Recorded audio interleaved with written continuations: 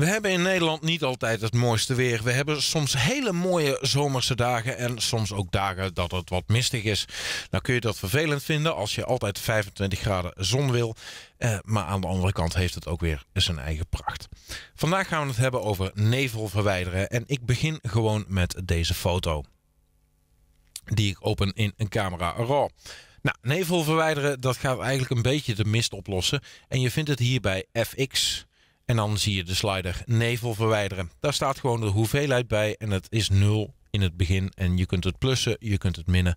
Nou, als je het naar links trekt, dan komt er eigenlijk meer mist bij. Totdat het eigenlijk een beetje een witte waas wordt. Maar als je het naar rechts trekt, dan gaat deze mist eigenlijk gewoon weg. Kom ik volledig uit op 100, dan zie je helemaal in de achtergrond dat er nog wel een klein beetje mist zit. Ik zoom daar gewoon even op in.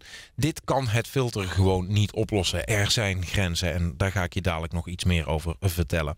Maar op zich van voorgrond, middengrond naar achtergrond wordt de mist een heel stuk minder heb ik nog een tweede foto daar staan met veel meer mist. Dit was de laatste dag van vorig jaar, 31 december. En toen was het aardig mistig. Nou, ik zie bij deze foto al een paar problemen verschijnen. Ik heb last van vignettering in de hoeken. En ik zie ook dat er een kleine vlek op mijn sensor zit. En dit is gemaakt bij diafragma 4,5, dus ik moet binnenkort even langs de dokter om hem schoon te laten maken. Ga ik hier nou trekken aan het filter nevel verwijderen, dan zul je zien dat die vignettering en dat haartje veel meer opkomt. Ik krijg natuurlijk wel een klein beetje meer detaillering in mijn foto, maar wat er achter de dijk in de mist zit, dat is weer te ver weg. Dat krijgt Photoshop gewoon niet opgelost. Daar is het gewoon grijs. Maar zoom ik bijvoorbeeld in op deze foto, dan zie je ook dat er een ander probleem is ontstaan. Ik krijg last van ruis en dit al bij ISO 400.